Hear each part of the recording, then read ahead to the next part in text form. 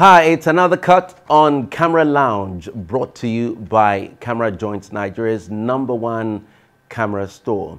And in this set of interview series, we're talking to leading Nigerian photographers, and they're talking about the business of photography, the art of photography, and everything in between. Today, I have another photographer. He's a fine art, portrait, and commercial photographer.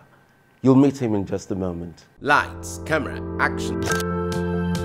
All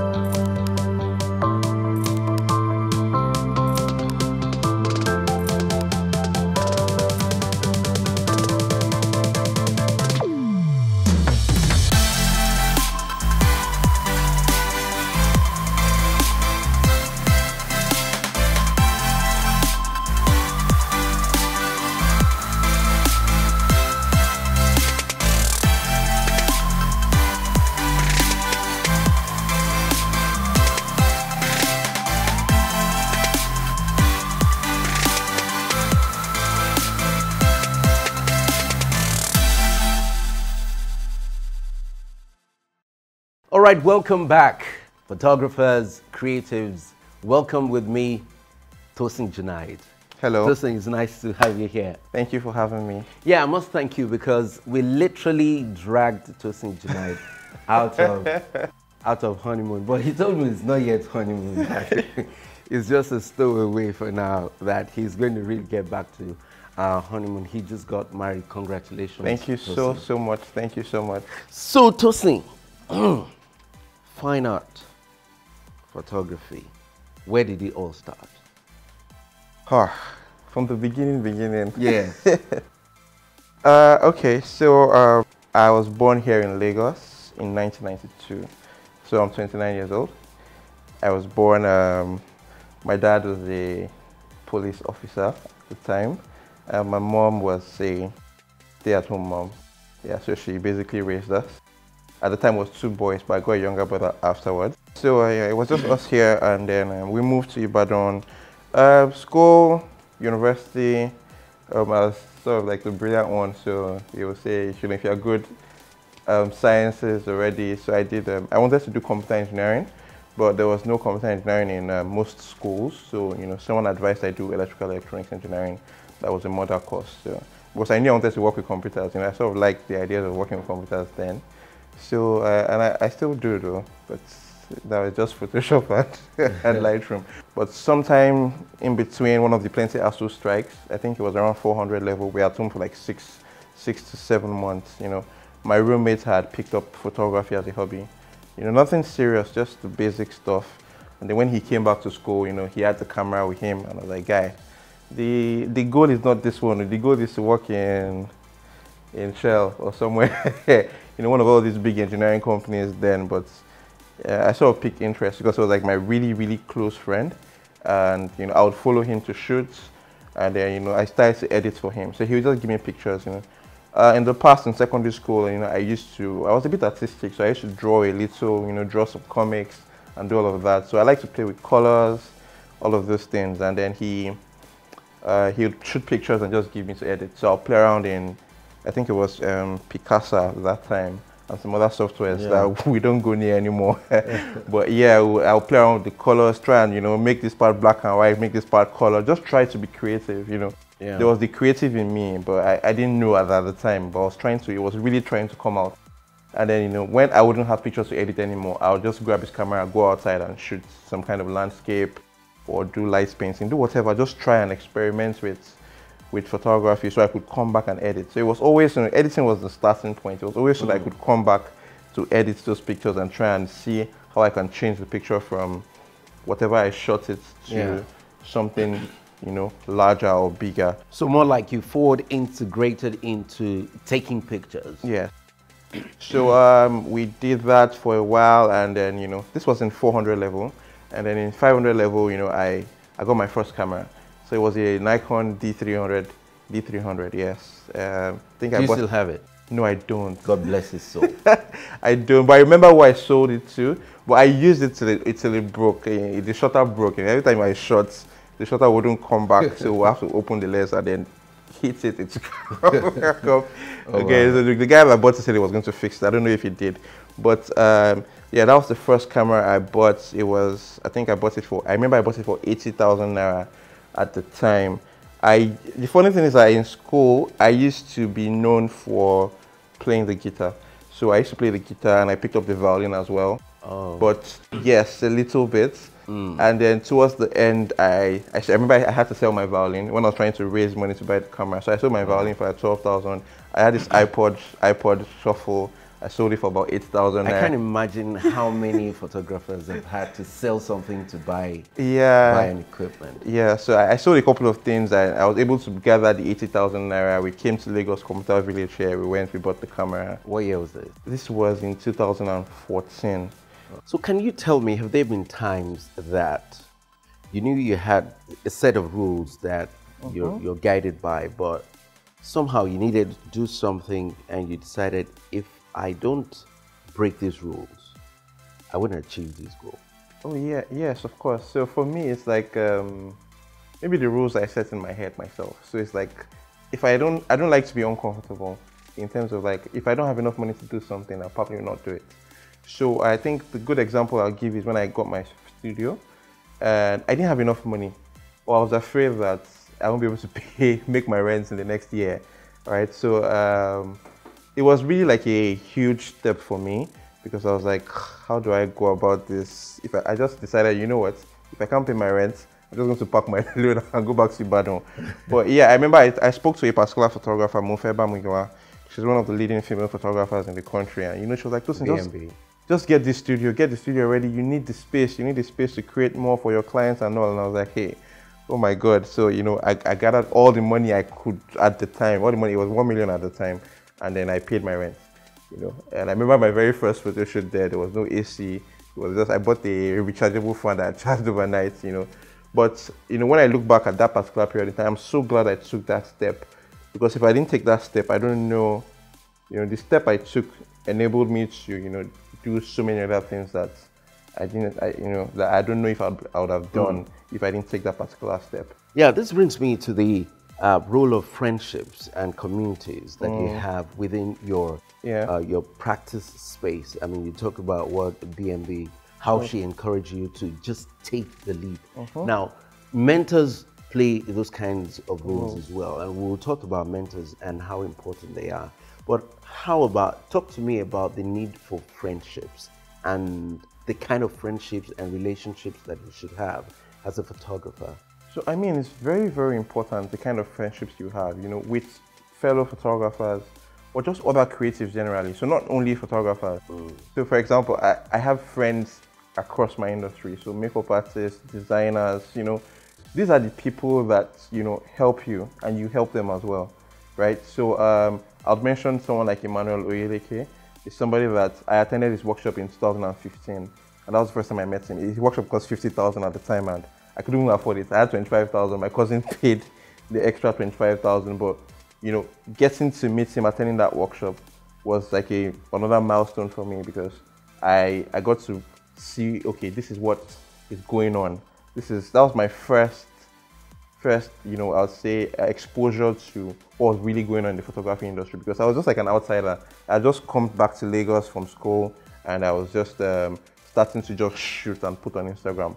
Well, it's, it's really interesting uh, to find out that in a matter of five years, or say seven years, your mentor sort of become your friend, mm. you know, and the, the, way I see the bond between you guys, it's really pretty amazing. Yeah, so, so it's very, very important the kind of person you are as a photographer. I mean, never mind quality pictures, quality people how do you handle people? How do you carry yourself? What do you do? What don't you do? You know, at different times of that friendship. So sometimes you, you know, some people just come and they get into your DMs, and the way they talk to you, you, you know, they're not bad people, but you know how to talk. You know how to how comport to yourself. Comport yourself. You know, do you understand boundaries? And you know, I can't just do this because I know this person. I have this person's number. It means I can just call them any particular time. So the way you carry yourself really, really matters and that's what helps you to form you know better relationships with people and those relationships trust me they are they are gold and they are worth a lot you know i can't start to mention figures but my relationship with certain people in the industry have put like physical cash and money Mm. in my account. You know, if it's referrals for jobs, you know, if it is, you know, so many, so many, so many things like that. Let's backtrack and tell me how things happened for you uh, whilst you were in school, how you started photography, and that particular convocation that you were telling me about. During my convocation, my friends and I decided that, you know what, we need to make some money. so we rented Yeah. the tents, went to the convocation field, we got the backdrop, we got lights and everything. You know, this is something that had never been done before. What people usually do is just, you know, they just wait and get guys that just shoot you on the field, you know. So we had lights and we had the backdrop and we had stands and everything and we set up that and we, you know, we told people pay 1,000 naira, we would shoot you and your family, everything. You get all your soft copies. It didn't cost us anything to give them soft copies. So, you know, we had a serious queue. It was crazy. You know, people even thought, ah, it's my turn, it's not my turn. And we're just three, so two shooters and somebody to write the names down and the numbers. That, yeah. Yeah, but it, it was a it was a really good experience because it shows that you know if you give people value, you know you can get monetary value in return. So you know we made some money. We were able to pay for the tents, for the lights rented, and that was when I you know I spent and I got my first my first speed light.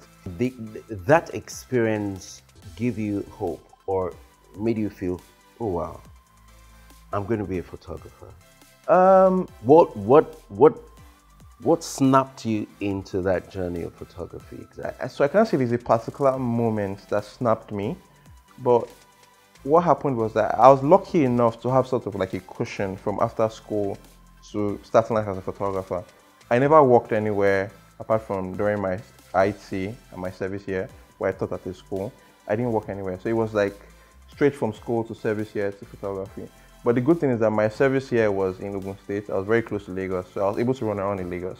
So as at the time, I was still getting some allowance from home, and I was still getting, you know, al- um, alawi, and I was living with my cousins. So I didn't have to feed myself nothing. Yeah, you didn't have So to pay rent. I didn't have to pay rent. rent is important. important. Yeah, but I so I had that, that year to really explore photography. You know, it wasn't really a conscious decision not to look for any jobs per se, but I, I didn't get the jobs at the time. So you tried. Uh, I didn't try hard. I didn't try hard because I was doing photography as well. But you know, if someone had offered me and said, Tosin, come and take this this job and you know we'll pay you 150,000 naira in 20, 2015, I'd have taken the job. But it would have been a big mistake. Mm. well, for me though, I know now I can say that I'm glad I didn't get any jobs at that time. But you know, what's really snapped me into it, I'll say, you know, I attended a couple of workshops. So Emmanuel's workshop in 2015, I attended Big H's workshop in Abuja in 2017. So, you know, seeing other people doing photography and hearing, oh, you can actually make this kind of amount. So me being exposed to what was possible was what made me say, you know what, I'm just going to continue in this. Let's talk about mentorship. What would you consider the role of mentors? And I would like you to mention your own mentors as well, Okay. and uh, what impact that has had uh, on your career. Um, okay, so mentors, I would say um, in Nigeria here, I'll say Emmanuel Oyeleke, I'll say Big H Studios in Abuja. They are the two whose work I really, really love going, um, starting out as a photographer. And I made, I made a, I made sure I attended their workshops. So it wasn't just like, oh, send a DM, you're my mentor, can, I, can you mentor me? And you know, the funny thing is that I never actually worked for any of them per se as, as worked in their studios, you know. So it was like I attended Emmanuel's workshop, you know, and I got to learn from him. I got to be around him. You know, of course, he called me to assist for jobs. The same thing with Big H. The story with Big H's workshop was is a very interesting story. I don't know if we have time, but it's a very interesting story. ahead. Because um, his workshop cost 100,000 naira and was in Abuja, and it spans over a period of six weeks. So, so not every day, but like uh, two days a week for six weeks. And I think I had 120,000 naira in my account. So I paid for the workshop. I entered God is Good, 8,000 naira to Abuja, and I had about 12,000 naira left on me. That was at the third week, I was out of money. I was out of money. I was living with my uncle out of money. I had a job, a 50,000 naira job in Lagos. So I entered 8,000 naira bus back to Lagos, did the 50k job, entered 8,000 naira job back to Abuja. So that's 16,000 and 50,000 minus 16,000 is what? Um, 34,000, Yeah. was I had back in my pocket to finish the workshop. But that class was also very, very good for me because it was more like Big H's class is very encompassing. It's not a master class, it's a whole thing.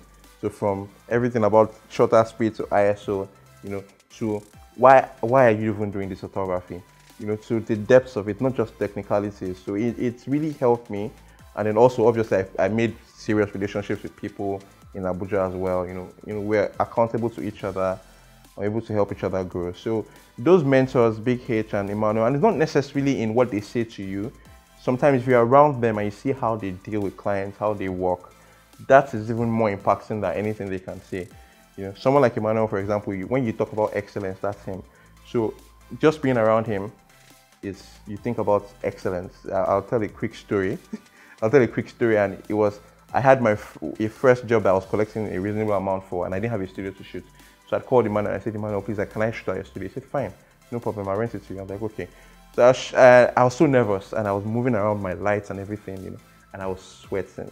Like I sweat all over my shirt. And you know, Emmanuel just looked at me and said, Tosin, your clients are coming. Is this, is this the shirt you're going to wear? So he, he went in and grabbed the shirt for me, you know, and he gave me a, a clean shirt that, you know, I was not sweating, just so that I could look presentable to my yeah. clients, you know. Yeah, you know, his shirts cannot size me anymore now.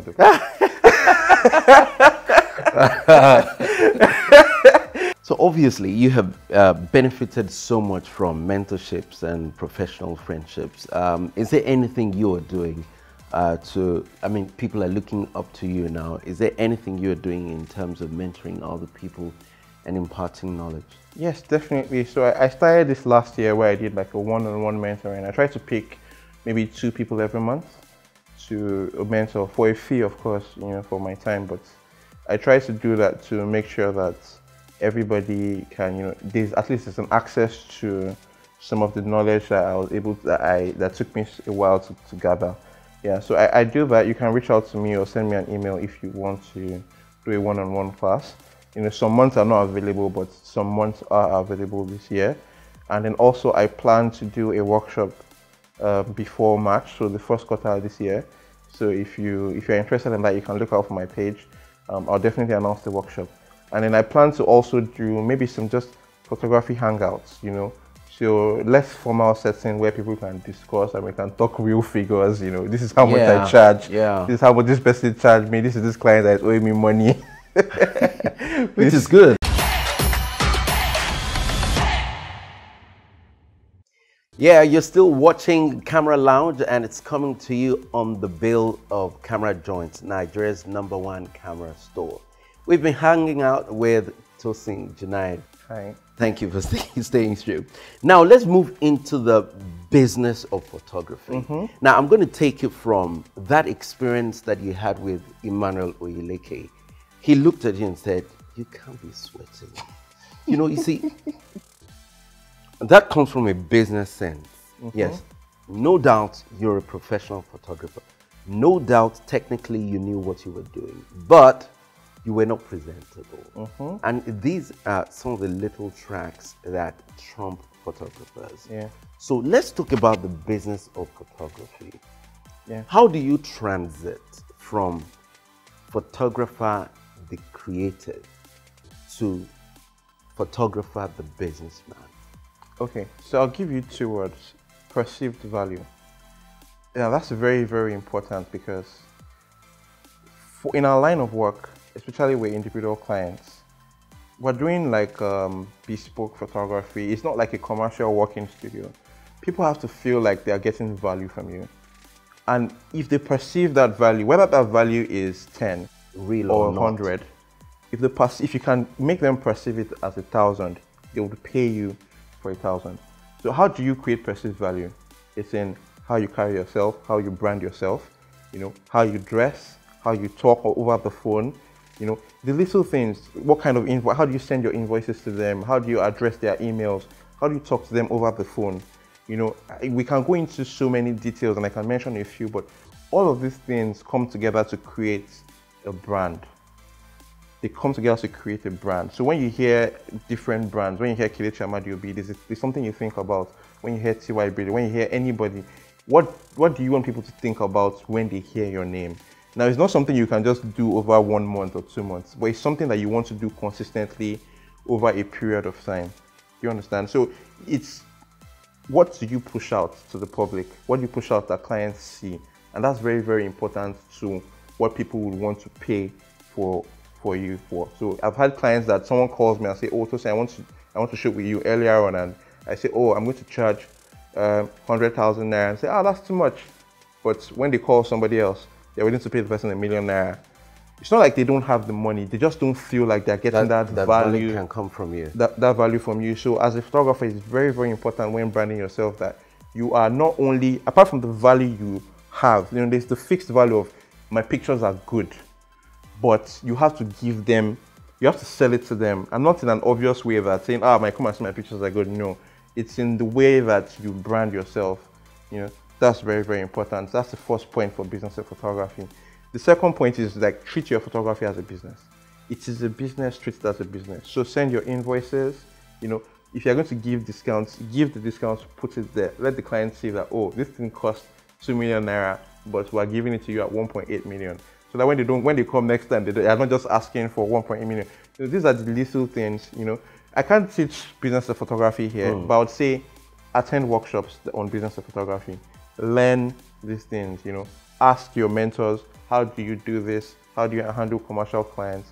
Please, if you're a photographer and you're starting out, open your business accounts. It's not hard. Just open it. you're mm-hmm. going to lose a job if you don't open it. I lost mine because the first time you get a commercial client that won't pay money to your personal account, it will be too late yeah, for you to, open, to yeah. open your open your account. So open your account, treat it, pay yourself a salary, please. Pay yourself. That's very very important as a photographer. Yes, let, us talk about accounting yeah. in photography. Mm-hmm. Uh, it's a good thing that you mentioned this that pay yourself a salary. Some people don't understand what that means. eh, maybe they are paying the money to, to me. me. Eh, well, so what does pay yourself mean? So pay yourself, what it means is that it helps you to be accountable, right? So I'll just, I'll just try and give um, an explanation. If I if I do a couple of jobs this month and you know I've somehow racked up um, a million naira or two million naira, and it's in my personal account, it's easy for me to think that oh I have two million naira, I'm rich. If we go out with my friends and you know everybody eats and the bill is 80k, like why not? I'll pay for it. What's 80k out of two million? But what you don't understand as a photographer or creative is that your your income is not necessarily um, what's the word consistent, right? So if you made two million naira this month or five million naira this month, doesn't mean it's easy. You, the way your brain works is that you think you're going to make five million naira next month, five million next, so you spend like that. But when you pay yourself a salary, you know that I've paid myself five hundred thousand naira this month. I cannot spend more than five hundred thousand naira this month. If not, I'll be in trouble. The rest of the money belongs to your business. It doesn't belong to you. There is also this perception that most creatives are not exactly able to manage businesses. Okay. First, do you agree with that? Second, now how does someone who is watching this saying, I don't really think right now I have the intelligence to put a business together. I just want to focus on making pictures. If you are intelligent enough to be a creative, you can run the basics of your business. Mm. The very basics of it. It's plus and minus. It's not so difficult, right? But I'm thinking that at the start, most people cannot afford to bring somebody on board and say, oh, this is my accounting officer, or this is the accounting person, this is the person that runs the business, this is the agency person. You know, if you can't afford that yet, then you have to do it yourself at the, at the beginning. But hopefully your business grows to the point where you can employ somebody and say, oh, this. There's people that belong to creative agencies that handle everything from booking of the clients to all of that. You know, I was talking with a friend yesterday and he said, Tosin, this is your business. You have to deal with people. And some people can't do that, right? So if you can outsource it, fine. You know, I think that's a bit limiting maybe. But if you can do it yourself, please. It's, it's you can you learn photography, so you can learn how to do it. Don't try and figure it out yourself. You know, if you need to go to a training, to do it, go to a training. I think Gazmadu Yagazi, she does a lot of trainings on business of photography. So let's talk about the larger business photography or creative business mm-hmm. environment in Nigeria. What's your assessment of where photography is today? Well, I think photography is going up. It, it has definitely grown over the last four or five years. You know, that's because of the quality of photographers that are coming out of Nigeria right now. The quality is really good, and that it means that you know people want that quality and people are willing to pay more for photography. So uh, also in terms of like commercial photography, you know, brands are really hiring photographers now as opposed to before when it was just people just grab stock images I remember there was a time that, you know, I think two banks, one had grabbed, it was Father's Day, and they had grabbed the stock image, and this one has grabbed the stock image, and they posted the same image of Father's Day, and it was, it was a mess. But, you know, now people, because the quality of photography is, is better, you know, they can hire photographers to shoot their campaigns and all of this, and photographers are delivering. So the industry is really getting better, it's really growing. I don't mind the competition at all, it's good it's good for the business for people to get better and better. So it's it's in a it's in a good space. It's in a good space. The wedding photography industry definitely was the first to really explode, and it's really if you want to make money in photography, that's where to start. Weddings, I feel like weddings is the easiest to to get into because you get clients easily more easily than um, than commercial and portrait photography. So, so let's also then talk about the genres of photography yeah. that we have and the ones that are prevalent in Nigeria. Yeah. Um, people have talked about aerial photography, mm -hmm. um, documentary photography, and, and stuff like that. Where do you see those growing? So now more than ever, definitely. So um, because because of the way the world is now, you know, and COVID coming and showing us that you know the world is more connected than we think. We can connect to anywhere in the world just from our smartphones. Means that um, other genres of photography are becoming even more. Um, what's the word now? They are becoming more relevant. So, for example, fine art photography. You know, NFTs now. It's crazy how much you can make.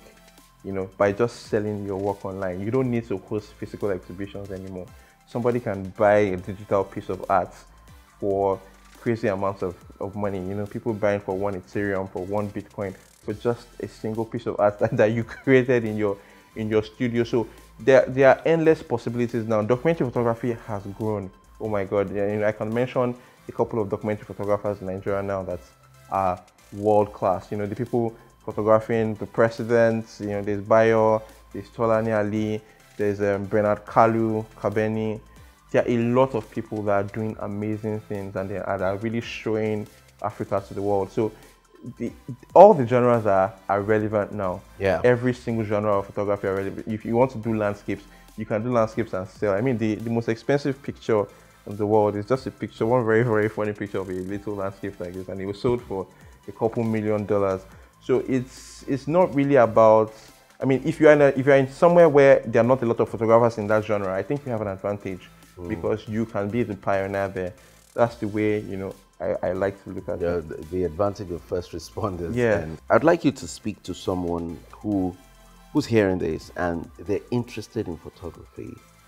They don't have equipment, they know nobody, but they they can sort of feel and see themselves in your shoes someday how can they walk their journey uh, with less hassles than you had? Oh yeah, so obviously with less hassles, with less hassles. But I'll I would say is that one, just keep shooting. Like don't stop, don't stop shooting. Keep shooting because people stop shooting and when they're tired, like don't stop. That's the first thing. The second thing is that allow yourself, give yourself time. You know, don't be so harsh on yourself don't look at somebody and say, oh, why am I not at that level yet? You know, the way growth works is organic growth takes time. You know, if, if it's real growth, sometimes it takes, a, it takes a while. So give yourself that time. You know, all you need to do is that it should say, I need to be better than my last shoot. You know, you can fall into that point where you feel like, oh, I'm not doing good enough, so I'm just going to stop. But no, so it's more like, you know, keep shooting, keep shooting, you know, little improvements each time. And then when you look back in a year's time, like, oh, I have improved this much, you know. Don't be afraid to experiment. That's the most important thing. When you're starting out, you, you're not so busy with clients and all of that. So experiment, shoot every single genre you can, you know, because you don't really know what you what you like yet. Trust me, you do. You might think you do, but you don't. So shoot every genre. You, I, I thought I was going to be like a beauty fashion photographer but I'm, I'm, not that at all now because I really like the fine art photography. So uh, listen to yourself, do whatever you want to do. Mm. You know, if you can afford workshops, attend workshops that are good workshops. They would help you. Apart from the knowledge you learn, you you get to meet other photographers. You get to meet you know your mentors, and they can help you grow. All right, I was going to put in a question, but the producer says we must take a break. So we'll do that. When we come back, Tosin will be talking about his positioning in Nigeria's photography industry. That's in a moment. Don't go away.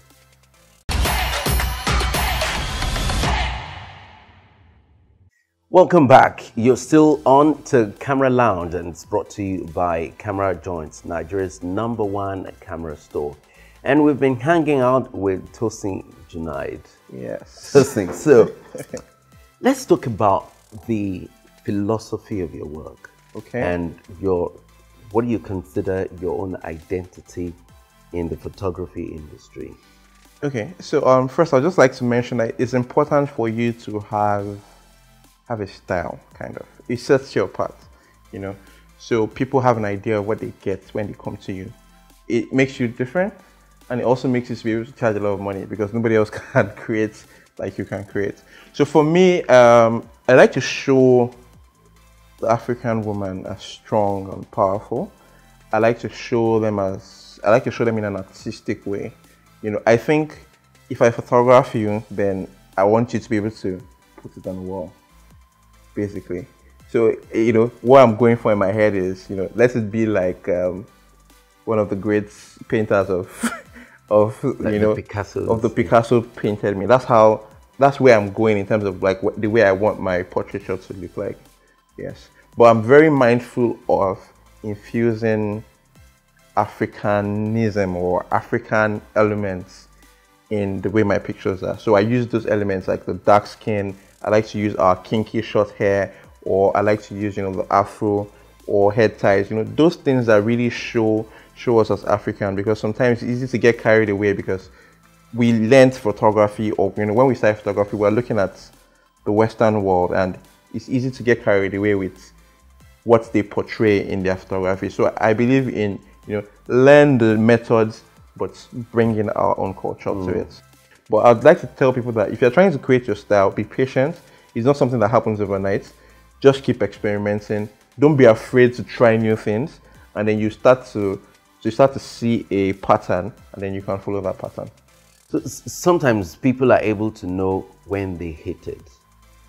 Was was that your experience? So yeah, there's a particular image I shot. It was one of my experiments. I was like, you know what? After that image, I was like, okay, these are the elements that I put together to create this. So it's like someone that wants to cook a recipe of jollof rice, Yeah. and then you finally hit it. Like, okay, wait, wait, wait. How many cups of pepper did I add here? You know, it's funny, but it was something like that.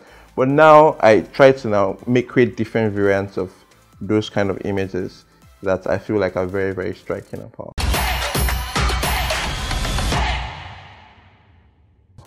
All right, so now you've talked about your niche, your identity, the philosophy about your work. Let's have you talk us through some of these fantastic, I mean, iconic, I call them, images that uh, Tosin Junaid has made. Talk us through this particular beautiful black lady.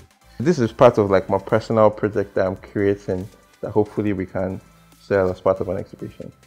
So you see, um, what we did was we used um, African cowries and you know the feathers, and we tied the gele on her head Yeah. to make her, and then we also light in such a way to make it even more striking. Have you sold this? No, not yet. Are you planning to? Hopefully. All right.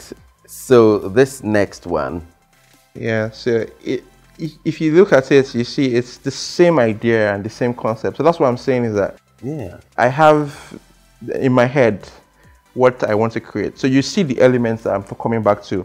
You see African Yeah. hairstyle, yeah, right? You see the prints she's And they look like stuff that will have like an endless shelf life. exactly.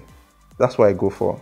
So it's something that you, I want to create images that you can look at 10, 15, 20 years from time and, uh, and they still look good. Yeah, these, oh, these, these are like Yeah. this is like like an African goddess. Exactly. So I I love want to show the person as a queen or as a as a goddess really. That's the word. Or as a god. you know. So the our hair is a crown. Hair is very important to me. As you can see, Yeah. hair is very important. So I like hair. I like um, short hair. I show people that are bald as well because I feel like you know we Africans. This is our hair. Let's Let's embrace it. and accentuate it. So I like to show how beautiful it can be. So uh, let's move into the technicalities a bit. How did you make this? Uh, let's begin with the, the backdrop. You know, um, there are plain canvases. Did you paint the the tree shadows and, and stuff like that, or did you, so, you acquire this? So what I do is that you, sometimes I superimpose other pictures into the backdrop to make it look that way. There are backdrops that you can buy that have this painterly effects. But the problem with those is that they are limiting. So once you use them, you know, you and don't someone else might acquire it. Yeah, so you don't want to use them again. But what you can do is you can shoot your own personal. So if you find landscapes, you can shoot, and then you can superimpose.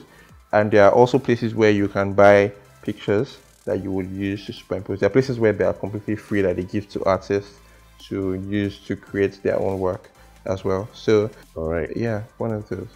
So now let's see what's in your bag that you've been using to create these stunning images. Okay, so I'm going to bring my bag like right up here now. Yeah. And great. It's a Manfrotto bag. Nice, nice bag. Thank you. Yeah. So uh, the content of my bag has changed, just changed recently. So um, but some of the things still remain yeah, the I mean, same. Tastes do change. Yeah. yeah. So first of all, I shoot Nikon. I'm a Nikon guy. Oh, I see. Nikon guy all the way. I see your wow. Canon camera. I'm a Nikon guy, so yeah. um, we'll stay in our hood. yeah. So I shoot the um, Nikon Z6 or Z6. Oh, great. Yeah. Uh, I've shot it for. This is the first time I'm handling. Hand, yeah, handling this. Nikon mirrorless. Yeah, it's it's a good camera. I I've always shot Nikon so somehow, I'm not shot Canon or Sony, any of the other brands. Do you plan to change anytime? I just invested in Nikon glass, so maybe no. At least yeah. not in the next five years. Uh, no, not not anytime soon. yeah, so um, not for any reason particular. My first camera was Nikon. I really liked them, and I just stuck with them. And mm. yeah, I, I like the way they design their cameras. It's more of a feeling thing for me as opposed to. So more, it's more emotional than logical. Would you say that? Uh, you wouldn't put it that way. I wouldn't put it that way, but there's an emotional connection, definitely an emotional connection to Nikon. Yeah, I really like them. Well, this is awesome. Mean, this is elegant. Yeah, so that's a 14 to 24 2.8. It's a new lens just bought from Camera Joint. ah, Camera Joint. It's a 14 to 24. Uh, I've always wanted like the wide angle professional zoom in my lens cap. I don't want to hear that sound, please. All right. Yep. Uh, so that's the camera. I've had it since 24 to what is this? It's a 14 to 24. 14 to 24. Yeah, that must be a wide yeah, angle. very wide, very wide. Uh, it's, it's, more of like a professional lens. You know, I I want to have it in my bag, so I bought it. And yeah. um, this is my Nifty 50. So this is a 51.8G. Yeah. I've had this, you can see it's really quite beat up. I've had it since 2016. I, it doesn't look as beat up like some I've seen. I mean, the rubber is gone, but it's a very good lens. Wow. It shot quite a, a, lot of my portraits. So this is just to prove to you that it's not about, I mean, gear is important, but you know, you can get great stuff with whatever you have. Mm. So just lean towards the strength of your gear. Mm. So I'm not trying to blow the background into milkiness with this because yeah. I know it wouldn't work. Mm. So I'll use it where I know it would work. And then um, what else do I have here? I have a 105 macro 2.8. Mm. This is also new from Camera Joint. So I said I got some new stuff just now. I, I used to have a 105 1.4 but it was a Sigma lens and it wasn't like a native mirrorless lens. So I, I just traded it for this one. So this is a macro lens. Uh, I plan to shoot some weddings this year, so I need this for details. I also have a 35 1.4 that I use for events mostly, but this is a Sigma, so it has the adapter. So that you can fit into the mirrorless the Nikon, yeah. Yeah, so this is this is that. I think that's all my all my lenses. So I, I see I see a range here. Yes. You're you're more like a range person who mm -hmm you want to get to location or in studio, you don't want to be limited by no, anything. I don't. So because I have, I have, from 14 all the way to 105. You're covered the entire range. Yes, I am. Mm. Beautiful. Yes, I am covered the entire range. All right, so this is very interesting. If you are a portrait photographer, fine art photographer, you've seen uh, what the professional is using. Tosin Junaid, thank you so much for coming. Thank you so much for having me. Program. Camera so Lounge and Camera Joint. Uh, we're happy to have you thank on you so show. Much. And thank you for sharing your thoughts, your experiences and we appreciate your impact. Thank you so much. Thank you so, so much. Thank you very kindly. All right, so that's the show for today. We've had Tosin Junaid with us on the couch at the lounge. Uh, this is Camera Lounge coming to you from Camera Joint, Nigeria's number one camera store. For me, Kaide Alandi, it's goodbye. Lights, camera, action.